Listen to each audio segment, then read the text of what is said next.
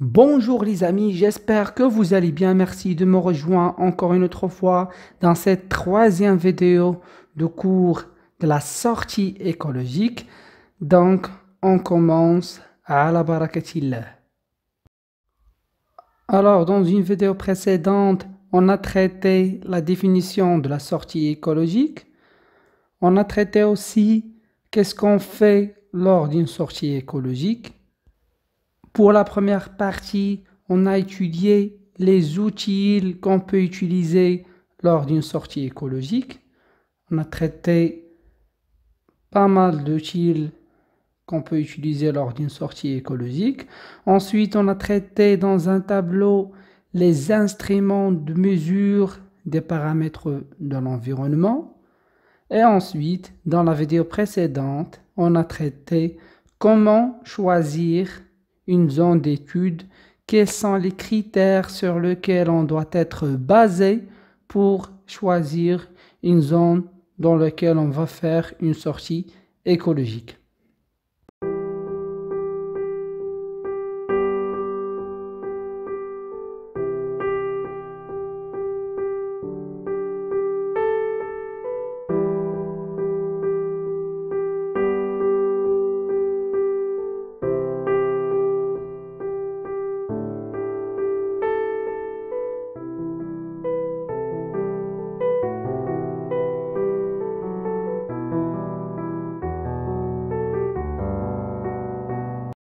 Et donc, dans la vidéo d'aujourd'hui, Inch'Allah, on va traiter la stratification verticale des végétaux.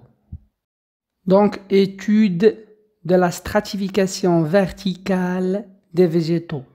Document 1, les strates végétales. Donc, lisez attentivement le document, répondez sur les deux questions. Alors, dans une forêt, existe une distribution des plantes en étages superposés appelés strates. Le document suivant donne une représentation schématique de la stratification verticale des végétaux d'une forêt. Question 1. Nommez les strates numérotées A, B, C, D, E. Deuxième question. Sur quels critères on est basé pour effectuer ce classement. Et donc, comme vous voyez dans ce schéma, il existe plusieurs types de végétaux. Chaque type de végétaux appartient à un étage qu'on appelle les strates végétatives, les strates végétales, les strates végétales, at-tabaqat. Alors, la première question, nommez les strates numérotées A, B, C, D, E. Donc, première question, on va nommer ces différentes strates, ces cinq types de strates. Premièrement, on va commencer du bas vers le haut, c'est-à-dire on va commencer par E, E, D, C, B A. Donc, on va commencer du bas vers le haut. Alors, comme vous savez, c'est que tous les végétaux ils ont deux parties, une partie aérienne et une partie souterraine. La partie aérienne contient la tige, les, branches et les feuilles. Par contre, la partie souterraine contient les racines. Et donc, comme vous savez, c'est que la, la, la strate E, elle est la partie souterraine. Donc, on va noter E, strate souterraine ou bien strate racinaire.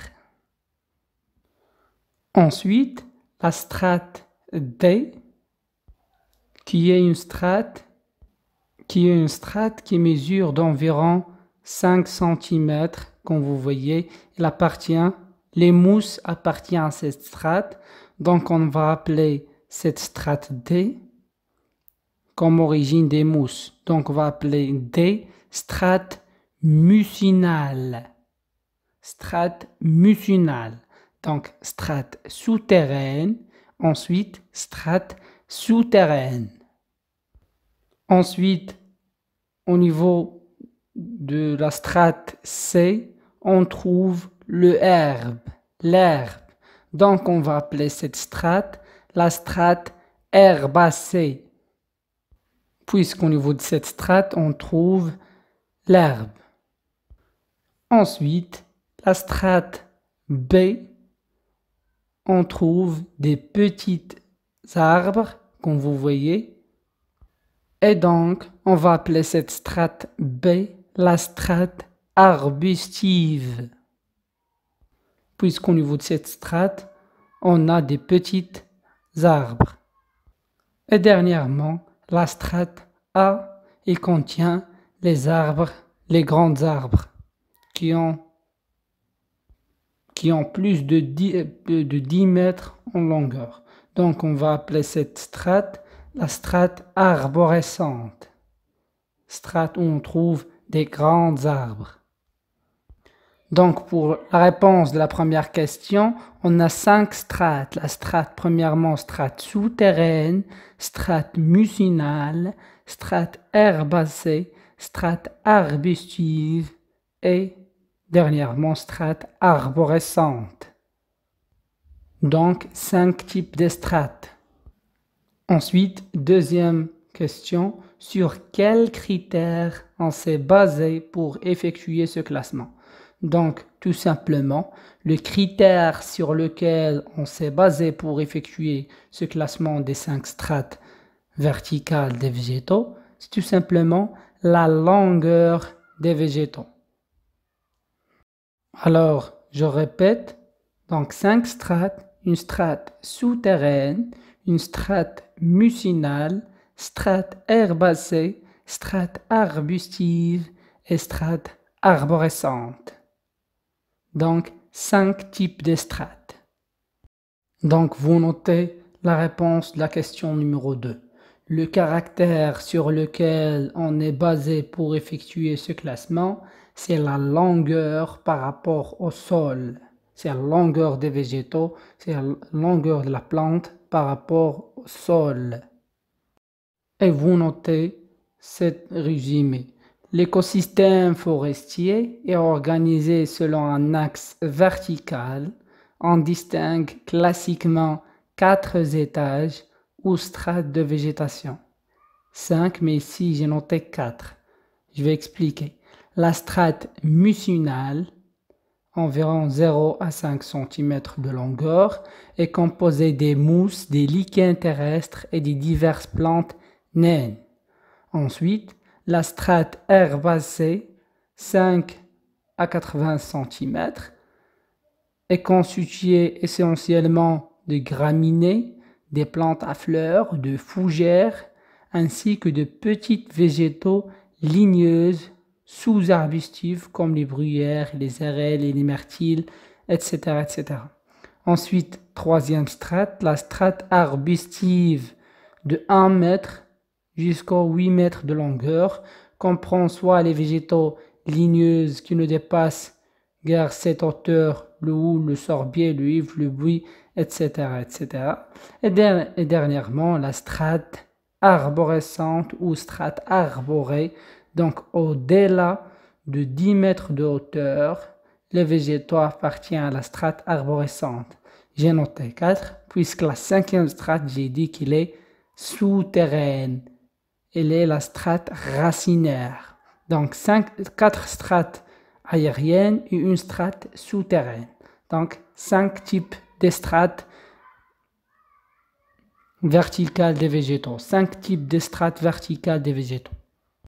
Et donc, pour la stratification verticale des végétaux, on a cinq types de strates.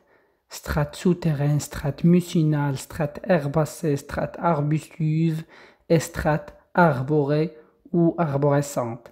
Donc, cinq types de strates. Le critère sur lequel on est basé pour effectuer le classement des strates, c'est la longueur des plantes. C'est la longueur des végétaux. Donc, on est arrivé à la fin de cette vidéo. On va, je vais m'arrêter ici. Et dans la vidéo suivante, Inch'Allah, on va traiter la stratification horizontale des végétaux. توزيع للطبقات الأفقية للنباتات.